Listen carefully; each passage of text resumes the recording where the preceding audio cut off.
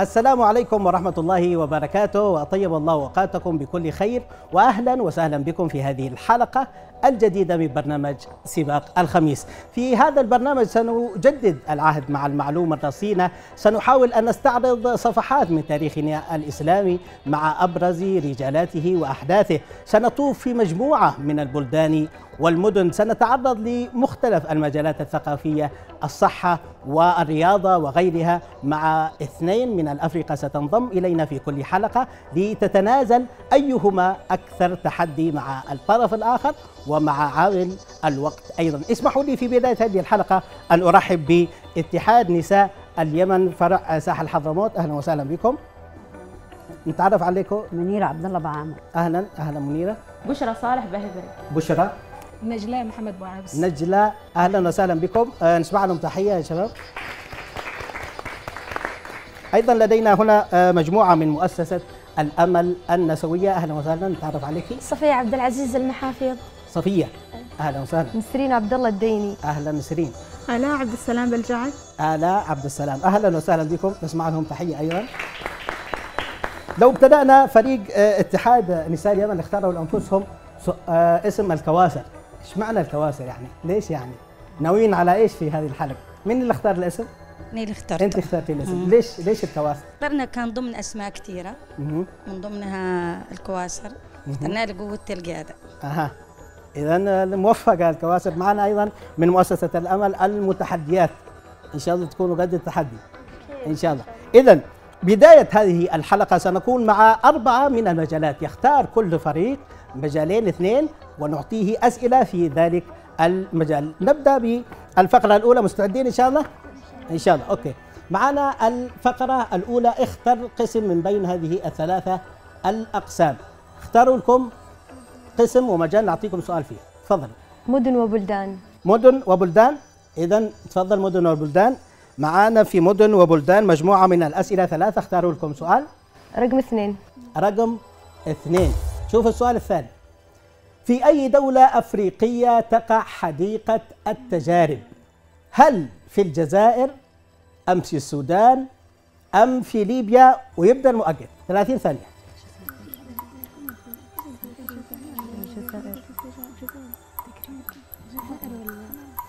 30 ثانية حديقة التجارب حديقة معروفة علمية تعقد فيها عدد من التجارب العلمية هنا هناك مستعدين؟ أيوه إذا الجزائر.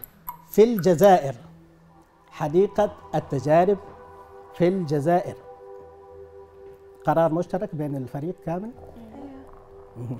حد منكم سمع عنها؟ أو مجرد تخمين؟ تخمين. تخمين. إيش معنى التخمين؟ مش في ليبيا يعني. مهم. اختاروا الجزائر. أنت كان لك مصرة على أنها الجزائر. قد سمعتوا عنها. إيش إيش ليش سموها تجارب عندكم فكرة؟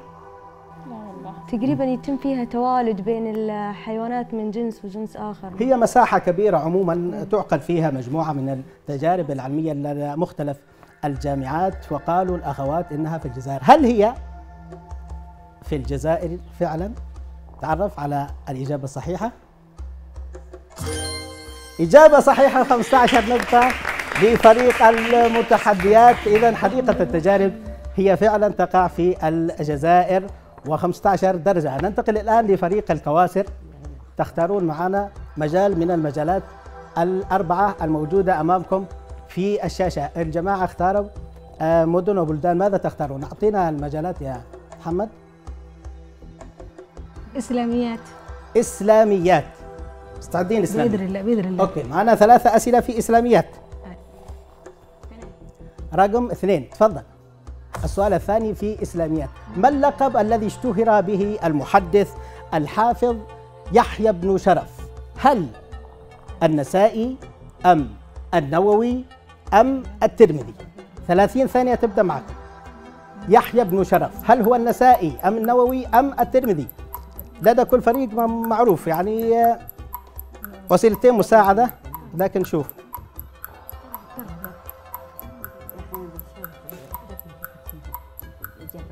الترمذي آه، وتوصلتوا للنهاية؟ الترمذي جواب نهائي.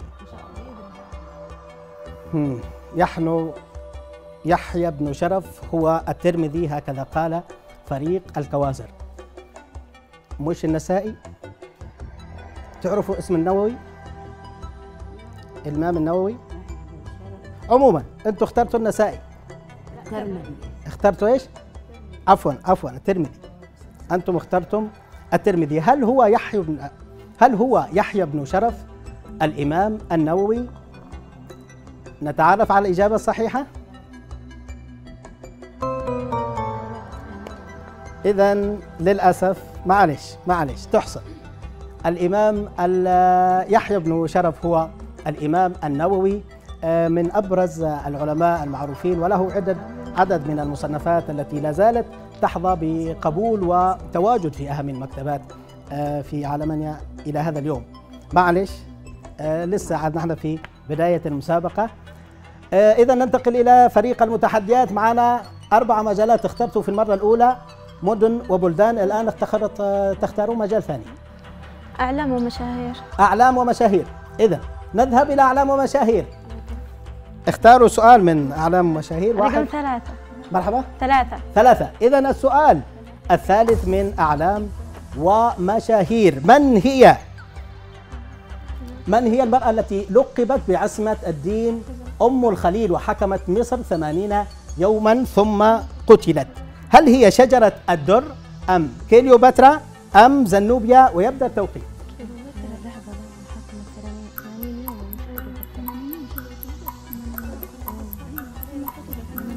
إذا التشاور من فريق المتحديات. وصلتوا للإجابة؟ شجرة الدر. شجرة الدر. جواب نهائي؟ مش كليوباترا مش زنوبيا أنتوا قلتوا شجرة الدر. okay. اذا فريق المتحديات يقول أن هذه المرأة التي حكمت فقط ل 80 يوم في مصر هي شجرة الدر. هل هذه الإجابة موفقة أم لا؟ تفضلوا نشوف. إذا إجابة صحيحة فعلا. وفريق المتحديات جايين لنا يعني ما شاء الله إيش محضرين أمورهم ومذاكرين.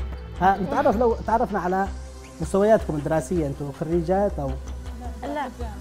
طالبات في الجامعة؟ لا أنا ثانوي أنت ما زلتي في الثانوي؟ أيوة. والأخوة خريجات جامعة. أوكي. آه الآن فريق الكواسر. لدينا برضو مجموعة من الأخوات هنا.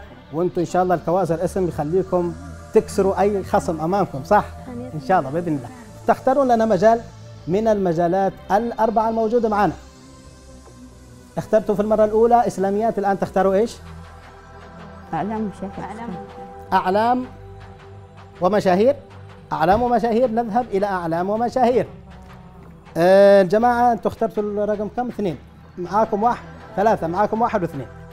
واحد واثنين. رقم واحد. رقم واحد. تفضل. السؤال الأول في أعلام ومشاهير أنا المواطن. هي أغنية لفنان وعازف عود تونسي اشتهر بأداء الموشحات وبأغانيه السياسية التي التزم فيها بقضايا الشعوب ولا سيما القضية الفلسطينية فما اسم هذا الفنان؟ هل هو هل هو لطفي أبو شناق أم مازن الشريف أم أحمد حمزة؟ بإمكانكم الاستعانة بالجمهور أو استبدال السؤال من لطفي ابو شناق لطفي ابو شناق جواب نهائي. معاكم 30 ثانية. خذوا راحتكم. خذوا راحتكم. لطفي ابو شناق بامكانكم تستعينوا بالجمهور بصورة رسمية مش بصورة غير شرعية يعني. لا لا لا. الأول؟ الأول. لطفي ابو شناق اذا قالوا لطفي ابو شناق هو صاحب أغنية أنا المواطن صاحب أغنية أنا المواطن خذوا المكاسب والمناصب لكن خلوا لي خلوا لي إيش الوطن. الوطن. لكن هل هو فعلا لطفي أبو شناق أم مازن الشريف؟ أنتوا قلتوا لطفي أبو شناق. ليش قلتوا لطفي أبو شناق؟ سمعتي الأغنية من قبل؟ يغني أغاني وطنية. أكثر أغاني وطنية. يشتهر هو بالأغاني الوطنية. والموشحات وغيرها. إذا هل هو فعلا لطفي أبو شناق صاحب هذه الأغنية الشهيرة؟ سنتعرف على الإجابة. من هو؟ فعلا فعلا إجابة كانت موفقة و15 درجة لفريق الكواسر إذا وصلنا إلى ختام هذه الفقرة الأولى من سباق الخميس. 15 نقطة لفريق الكواسر والمتحديات بنقطة كاملة بعلامة كاملة 30 آه، درجة. إذا فاصل وبعده نواصل مع الفقرة الثانية. خلوكم معنا.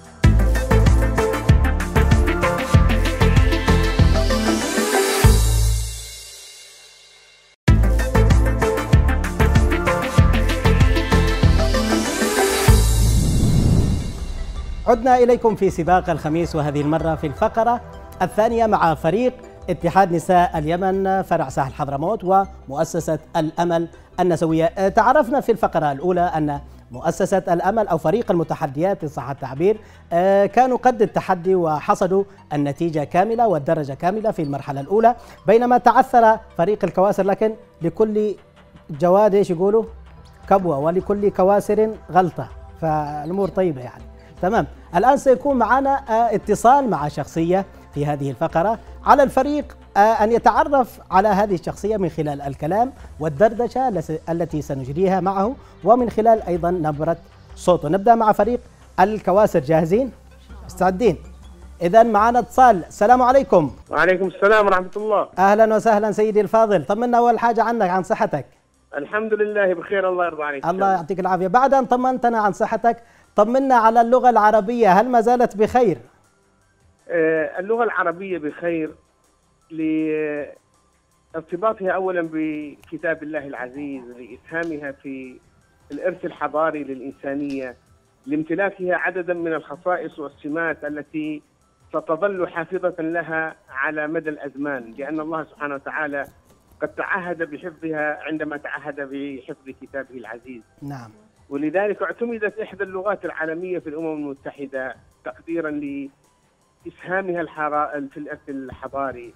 ولهذا المستشرقون أنفسهم يعترفون بأن هذه اللغة ولدت في غاية الكمال. نعم. وليس لها ش... ليس لها شيخوخة لأنها ستظل باقية بإذن الله. نعم لكن لكن سيدي آه، ربما تراجع دور أو تداول الفصحى هذه الأيام. هل هذا التراجع يعد تراجع طبيعي أم أنه انحدار يجب تداركه؟ أولا الضعف والتراجع ليس في اللغة نفسها وإنما في مستخدمي هذه اللغة من أبنائها. صحيح. اللغة العربية هي تعاني من عقوق أبنائها لها وهذا وضع هو ليس طبيعيا لكنه يبدو منطقيا في ظل انحسار القراءة للنصوص الفصيحة آه، اتجاه عامة الناس إلى مواقع التواصل الاجتماعي والاكتفاء بالمعلومات الجاهزة نعم. التي لا يراعى فيها اللغة بخصائصها وسماتها المميزة لها إضافة إلى ذلك عدم تعاطي عدم التعاطي مع هذه اللغة الفصيحة صحيح. في المواطن التي ينبغي ألا تزاحمها فيها العاميات كوسائل الإعلام وقاعات التعليم ومؤسسات الدولة الرسمية ودور العبادة وفي الاجتماعات والندوات والمحاضرات هذه كلها مواطن ينبغي أن تمارس فيها العربية الفصحى ولا نقصد بالعربية الفصحى العربية المتقعرة العربية الصرفة التي ربما صعبة. فيها مستوى آخر من اللغة. صحيح. هذا انحدار نعم وتراجع في مستوى استعمال اللغة في هذه المؤسسات. نعم. أه لو لو سألتك عن الحد الأدنى الضروري لمن ينطق بهذه اللغة ما هو الحد الأدنى الذي يجب أن يكون متوفر لديه؟ الحد الأدنى ينبغي أن يكون مستخدم اللغة عارفا بمفرداتها بصحة أبنيتها بسلامة تركيبها من غير إغراق في تفصيلاتها. اللغة العربية لا نقصد بها مثل ما ذكرت انفا العربية المتقعره وإنما اللغة العربية السهلة صحيح. الميسرة التي تأخذ من الفصحى أهم خصائصها وألفاظها وتأخذ من العامية سهولتها ووضوحها وعدم تعقيدها.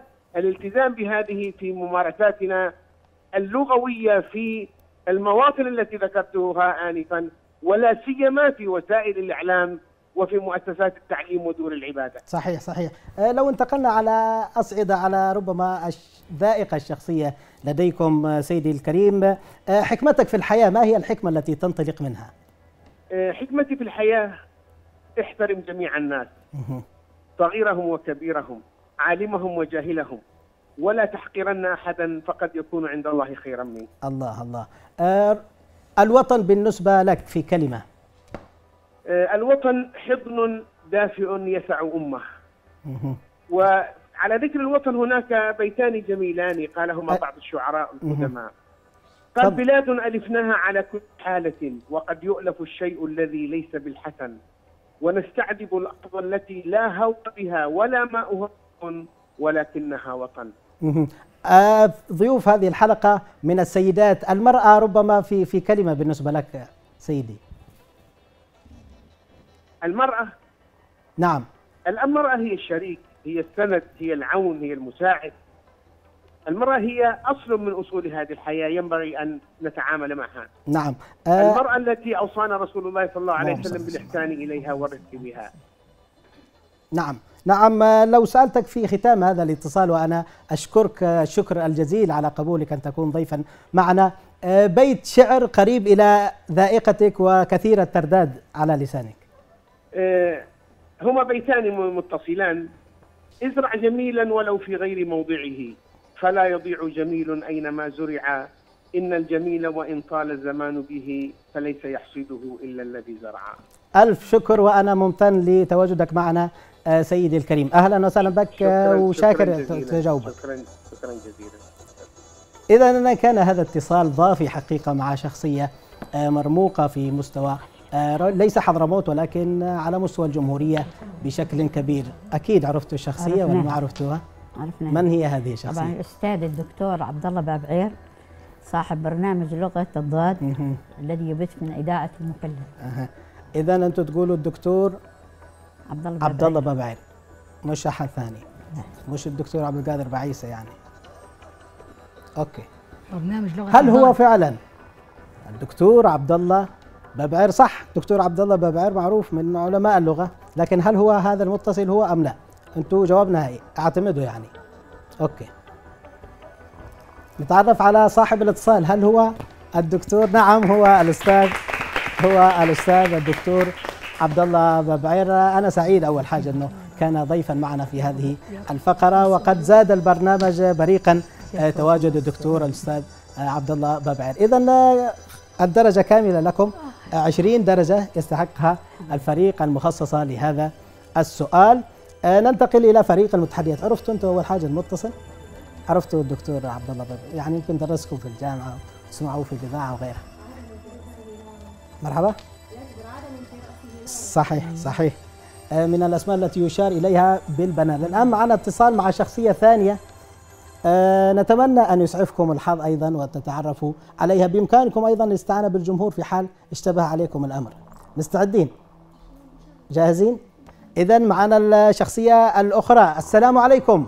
وعليكم السلام ورحمة الله وبركاته. أهلا وسهلا سيدتي العزيزة. أهلا وسهلا. أيمن. نرحب بك في برنامج سباق الخميس وشاكر تجاوبك معنا دكتور. أنا سعيدة جدا أن أكون مع ابني أيمن. أتمنى لك التوفيق والنجاح شكراً. يا أيمن. من نجاح إلى نجاح آخر إن شاء الله. النجاح هو جزء من النجاحات التي حققتموها. ووجودكم دائما بيننا هو دافع بلا شك. آه، لو تحدثنا في بداية هذه ال- ال- ال- المداخلة عن طبيعة علاقة المرأة بالإعلام كيف تقيمينها؟ والله آه، علاقة المرأة بالإعلام آه، في وقتنا الحالي علاقة قوية جدا جدا. نعم. أصبحت المرأة اليوم جزء لا يتجزأ من الإعلام. صحيح. اليوم أصبح الإقبال كبير جدا على قسم الصحافة والإعلام. اليوم أصبح أصبحت المرأة تتبوى مناصب كثيرة في آه، الإذاعات المحلية خاصة في محافظة حضرموت. صحيح. نعم. نعم. لكن أبرز التحديات التي تواجهها المرأة بشكل عام من وجهة نظرك؟ آه، بالرغم من كونها نصف المجتمع ولكن ما زال الرجل للأسف الشديد في مجتمعاتنا العربية خاصة يسيطر على مجريات الأمور حتى يومنا هذا. هناك؟ هناك طبعا بعض النساء يجدن صعوبة في الحصول على التعليم والرعاية الصحية وهناك نساء أصلا أيضا يقاتلن من أجل العيشة الكريمة. فوق هذا وذاك يا أيمن نلاحظ أن المرأة حققت إنجازات عظيمة في مختلف أنحاء العالم خلال السنوات الماضية آه، طبعا نلاحظ أن ارتفاع نسبة النساء التي يحصل على التعليم اليوم العالي التعليم العالي وأيضا حصول المرأة على عمل الآن فرصة في حصول المرأة على نعم. العمل نعم. في مجتمعنا آه، الحضرمي يعني هناك من يتحفظ على انخراط المرأة في المجتمع بحجة الخوف عليها والحفاظ عليها آه، كيف تنظرين إلى هذه النظرة؟ الخوف عليها من ماذا؟ الخوف عليها من التع... من التعليم؟ الخوف عليها من العمل؟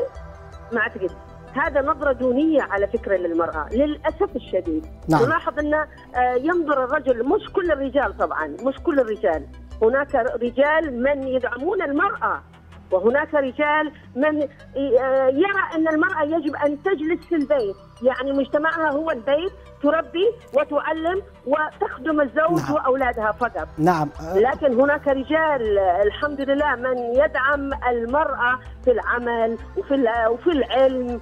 آه، يعني لاحظت الآن وفي الآونة الأخيرة أن هناك آه، إقبال كبير من قبل الفتيات على الكليات آه، على الجامعة جامعة سواء كان جامعة حضرموت سواء كان جامعة سيئون سواء كان جامعة عدن إقبال كبير من قبل الفتيات. هذا دليل على أن وعي وعي المجتمع ووعي الأسرة على أن يجب على المرأة أن تحصل ولو حتى على قسط آه، قليل من التعليم. نعم. نعم. آه إن شاء الله تكون كلماتك آه، تجد لها صدى في المجتمع وقبول لدى نتمنى من ذلك يهمه نتمنى ذلك نعم، نعم. نتمنى ذلك. نعم بإذن الله تجد أذان صاغية. لو ننتقل إلى محاور شخصية أو أسئلة شخصية على وجه السرعة آه لو تك- حدثنا عن حكمتك في الحياة. ما هي حكمتك في الحياة باختصار حكمتي في الحياة يا أيمن عامل الناس بأخلاقك لا بأخلاقهم. جميل. آه لو تحدثنا عن الوطن بالنسبة لك ماذا يمثل الوطن؟ آه الوطن تكفي الآه هذه ويئن ويئن. فعلا فعلا. إن شاء الله الشدة وتزول زي ما يقولوا.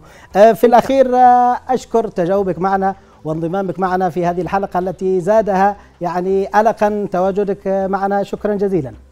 شكرا جزيلا. أيمن أتمنى لك التوفيق والنجاح إن شاء الله. شكرا. إن- إن شاء الله. شكرا جزيلا. اذا آه، كانت هذه شخصية أيضا آه، إعلامية مرموقة في آه، حضرموت على وجه التحديد. آه، صالت وجالت في الإذاعات وفي الصحف وفي مختلف الوسائل الإعلامية. هل تعرفتم على هذه الشخصية أم لا؟ نعطيهم الموقت أو إذا عرفتوها. بإمكانكم الاستعانة بالجمهور أو استبدال السؤال بسؤال من الجمهور الطرف الآخر. نعطيهم الموقت. أعطيهم موقت 30 ثانية. اذا كانت هذه شخصية. أستاذة دعاء. أنتوا أنتوا إذا جاهزين قولوا لي. جاهزين؟ okay معنا 18 أستاذة دعاء. دكتورة دعاء. دكتورة دعاء. دكتورة دعاء من؟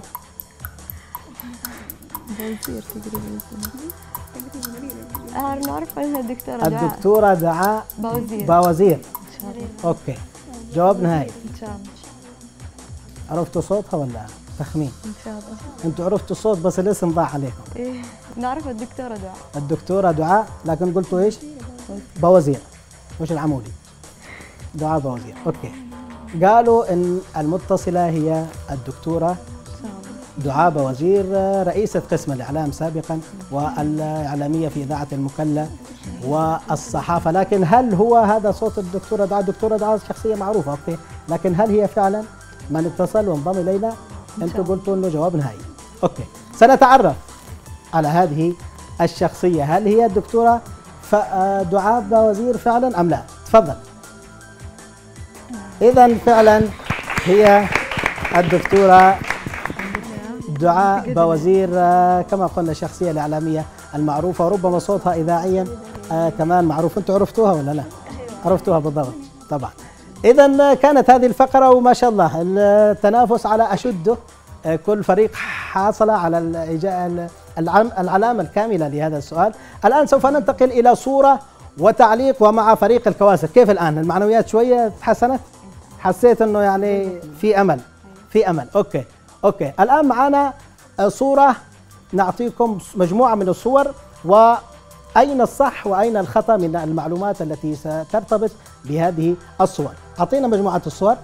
معنا مجموعة من الصور هنا الصورة الأولى حدائق بابل المعلقة الصورة الثانية البحر الميت الصورة الثالثة بوابة السماء المعروفة ومعنا ثلاثة من الشخصيات الفنية وردة الجزائرية أحمد فتحي وأيوب طارش. اختاروا صورة ونعطيكم معلومتين عن هذه الصورة. واحدة صح واحدة خطأ. يلا.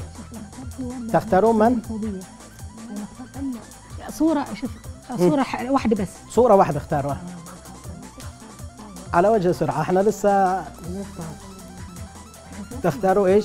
هل ثقافتكم الفنية كويسة؟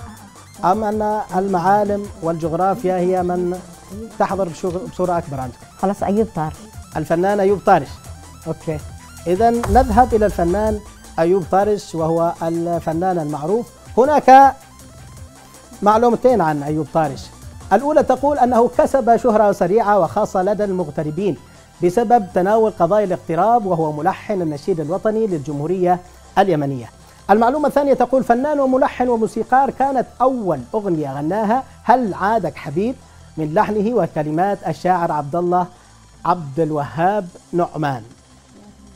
الإجابة الأولى آه هناك معلومتين هل الأولى صح أم الثانية صح؟ نعطيهم الموقت نعطيهم الموقت.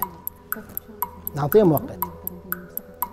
الفنان أيوب طارش الفنان المعروف آه لدينا مجموعة من الأغاني والذكريات ربما مع أغاني هذا الفنان الرائع. إيش وصلتوا للجواب؟ الإجابة الأولى. إيه. أي المعلومتين صحيحة؟ الأولى أم الثانية؟ الأولى. كسب شهرة سريعة وخاصة لدى المغتربين بسبب تناول قضايا الاغتراب وهو ملحن النشيد الوطني للجمهورية اليمنية. هذه هي صحيحة متأكدين؟ أوكي. آه هم قالوا أن المعلومة الأولى هي المعلومة الصحيحة وهو ملحن. هل هو فعلا ملحن النشيد الوطني؟ أم أن النشيد الوطني من ألحان الفنان الكبير المعروف محمد مرشد ناجي. أنتوا قلتوا عموما إنه أيوب طارش. متأكدين؟ متأكدين إن شاء الله. أوكي. هل فعلا هو ملحن النشيد الوطني الفنان أيوب طارش؟ نتعرف على الإجابة؟ من الشاشة تفضل. اذا فعلا فعلا إجابة سليمة وهو ملحن النشيد الوطني مع تحياتنا وتقديرنا لكل الفنانين على الساحة اليمنية. اذا فإجابة وعلامة كاملة لهذا السؤال. نشوف فريق المتحديات كيف ثقافتكم الفنية ام انكم مع المعالم والجغرافيا تختاروا؟ ولا ولا صورة كذا. اذا لدينا مجموعة من الصور. لحدائق بابل والبحر الميت وبوابة السماء وردة الجزائرية وأحمد فتحي. تفضلوا. البحر الميت. البحر الميت. آه، البحر الميت. نروح نشوف ماذا لدينا عن البحر الميت. التسميات القديمة للبحر الميت البحر الشرقي وعمق السديم وبحر لوط وأن أول من أسماه بالبحر الميت هم الفرس. هذه المعلومة الأولى. الثانية تقول يقع البحر الميت في الجهة الجنوبية الغربية من العاصمة عمان العاصمة الأردنية ويعتبر أدنى نقطة وموقع على سطح الأرض. ومعنا 30 ثانية لتختاروا الإجابة وتتعرفوا على الإجابة الصحيحة. إذا معنا ثنتين من المعلومات عن البحر الميت لكن واحدة منها صحيحة والأخرى للأسف خاطئة. فهل سيتفك فهل سيتمكن فريق المتحديات من معرفة الإجابة صحيحة أم لا؟ المؤقت. لسه الآن جاء. أوكي. البحر الميت. قد سمعتوا عن البحر الميت أنتم. معروف في في عمان الأردن. يحد مجموعة من البلدان. إن شاء الله المعلومة الأولى. وصلتوا للجواب إذا أي المعلومتين الصحيحة؟ الأولى. الأولى. أن من التسميات القديمة للبحر الميت البحر الشرقي وعمق السديم وبحر لوط وأن أول من أسماه بالبحر الميت هم الفرس. هذه المعلومة صحيحة. والمعلومة الثانية تقولوا أنها خطأ. إن شاء الله أوكي بس أنتوا قرأتوا أو مرت عليكم ولا مجرد تخمين؟ لأنه في الجنوب الغربي آه، تحدها السعودية ما في بحر في الشرق البحر. إذا يقولوا أن المعلومة الأولى هي معلومة صحيحة وأن المعلومة الثانية معلومة خاطئة. هل كانوا موفقين؟ هل كانوا آه، هل كنا موفقات في اختيار هذه الإجابة؟ نتعرف عليها. إذا للأسف كانت آه، إجابة غير موفقة. فهو معروف معروف أنه أدنى نقطة وموقع على سطح الأرض هو البحر الميت. لكن آه، عموما الآن ال- الآن تقريبا بيكون تعادل بين الفريقين. التعادل يعني المفروض أنتم الآن آه، تستعيدوا الأنفاس شوية ها؟ ورجعنا إلى نقطة البداية مع الفقرة الثانية. إذا الفقرة الثالثة من هذا البرنامج ستكون هي الفاصلة والمعركة الختامية بين الكواسر والمتحديات. لمن ستكون الغلبة؟ هذا ما سنعرفه بعد الفاصل من سباق الخميس. خلوكم معنا.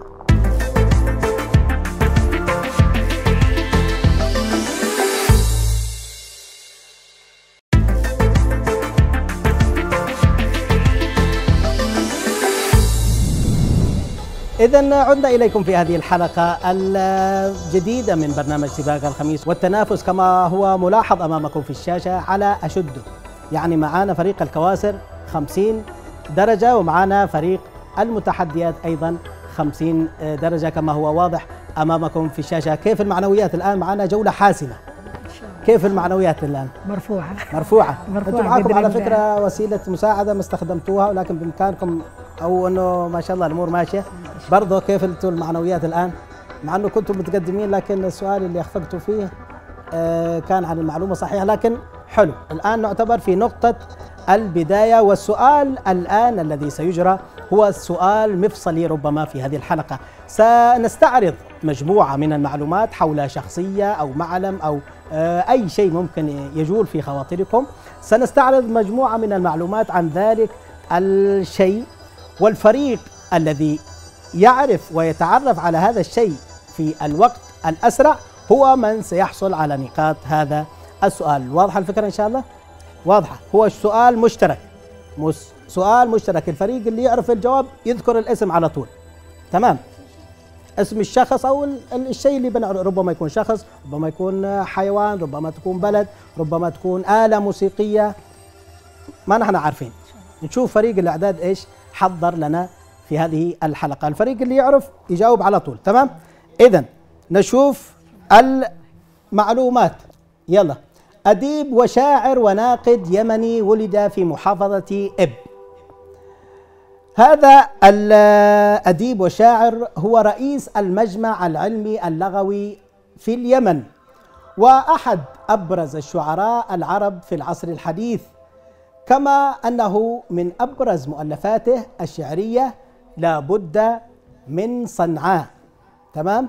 المعلومة الأخيرة حاز على جائزة الفارس من الدرجة الأولى في الآداب والفنون من الحكومة الفرنسية في عام 2003 ما فيش أحد عرف؟ خمنوا طيب. ما فيش أحد عرف الإجابة؟ ممكن تستعينوا بالجمهور؟ يلا الوقت مفتوح أمامكم. الفريق الأول الفريق الأول اللي يحصل على الجائزة اللي يحقق؟ عموما عموما عموما. خلاص خلاص. ما في خلاص أعتقد أعتقد أعتقد إنه ال- ال- الإجابة ما ما توصلوا إليها.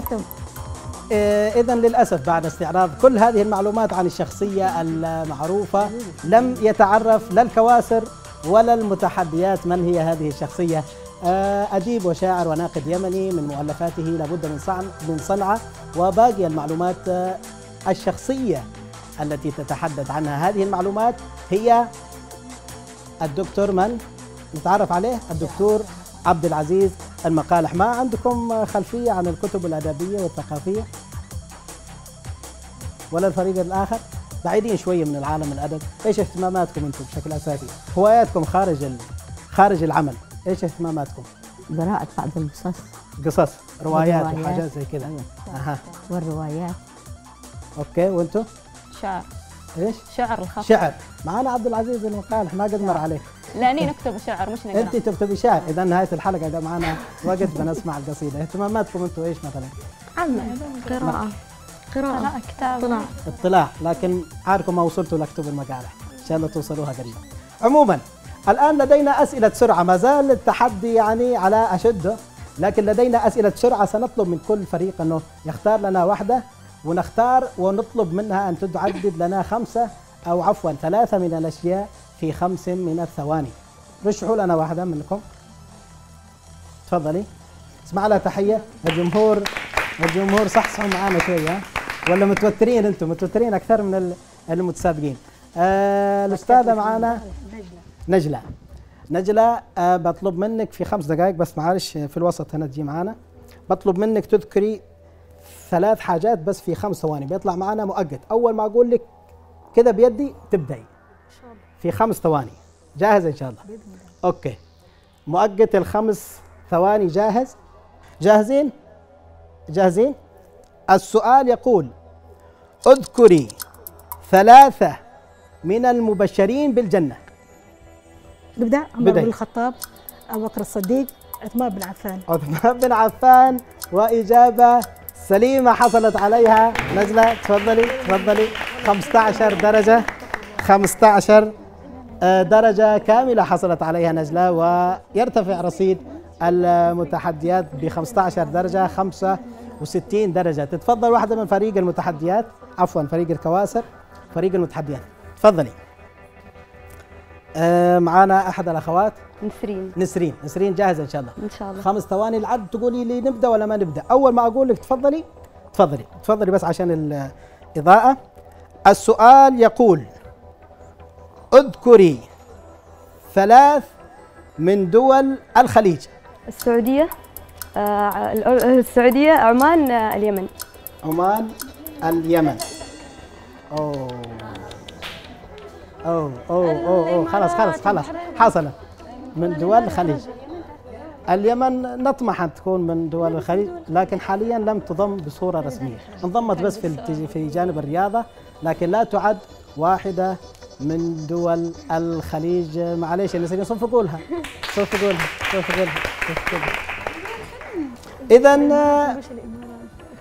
كما قلنا هو سؤال ومسابقة يعني مش هي مجرد مسابقة يعني عادي تحسب أكيد فلا تلوموها زيادة. هي لا، كانت لا، تتوقع عن عادي. اليمن من ف... لأنها فعلا أيوة. دخلت في بعض الجوانب مثل الرياضة وغيرها يعني ما لكن لم- تعتبر دولة خليجية؟ لا تعتبر من بصوره رسمية لا. مش من دول مجلس التعاون الخليجي العربي. اذا لدينا الآن الدرجات كم؟ 50 تاخذ لها 10 درجات حق الدولتين اللي حصلتها. السعودية وإيش ذكرتي؟ والكويت ضيف لها 10 أعطيها 60 درجة. 60 درجة لأنها طلبنا منها ثلاث فجابت الثنتين صح كل واحدة عليها خمس لكنها لم توفق في آه الإجابة بصورة كاملة. اذا وصلنا في ختام هذه الحلقة إلى النتيجة النهائية بين فريق الكواسر الذي عمل رومونتادا زي ما يقولوا فريق في الكورة. يعني إيش كانوا متأخرين؟ ولكنهم قلبوا الطاولة أو بالأصح كسروا الطاولة على فريق المتحديات. أول حاجة خلونا نسمع تحية قوية لفريق لفريق المتحديات هو مؤسسة أمل. ممكن تعطينا إحنا نبذة في ختام هذه الحلقة عن مؤسسة أمل. إيش ال... إيش الأنشطة اللي تنفذوها وإيش الأعمال؟ تفضل. يعني هي مؤسسة نسوية تقوم بدور المرأة وتساعد ال- النسوان عندها عدة مراكز للسلام للاستشارات تقوم بأعمال آه، تطوعية ومساعدة الناس. جميل. آخر آه، برنامج أو آه، دورة أو نشاط نفذتوه إيش كان؟ الآن التغشيش مسموح. آه، توزيع حقائب مدرسية واحتفال باليوم جميل. العالمي للسلام. جميل. شكرا شكرا لمؤسسة الأمل. الآن لدينا أيضا وتحية أكبر لفريق الكواسر الحمد لله. الذي فاز وتأهل. إذا سوف ننتقل إلى سؤال الجمهور. كيفكم أول حاجة عجبتكم الحلقة إن شاء الله؟ أنا عارف أنكم الآن تشعروا بنوع من يعني الزعل مش؟ لكن إن شاء الله تهنئون لفريق الكواسر الممثل لحلقة القطاعات النسوية في الدور الثاني إن شاء الله. لكن هناك سؤال خاص بالجمهور آه، نتمنى أنكم تجيبون عليه.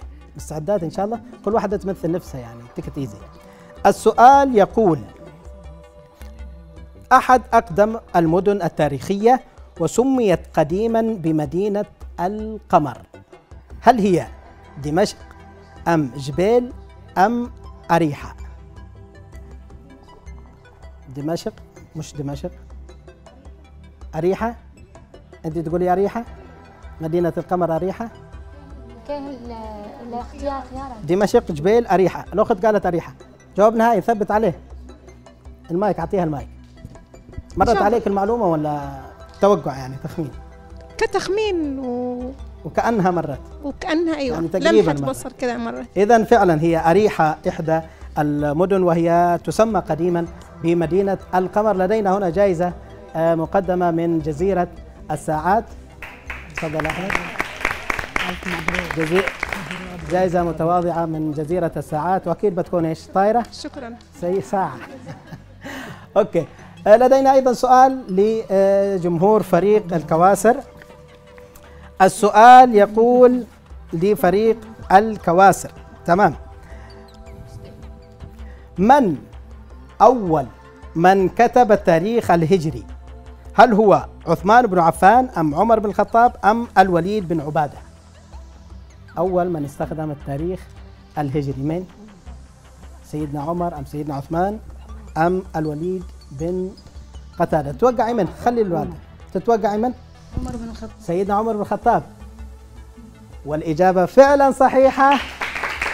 وتستحق الجائزة المقدمة من جزيرة الساعات. وشكرا لتواجدك معنا. شكرا. إذا وصلنا في ختام هذه الحلقة. إذا وصلنا إلى ختام هذه الحلقة من سباق الخميس. في حلقة كانت مثيرة إلى الرمق الأخير حقيقة.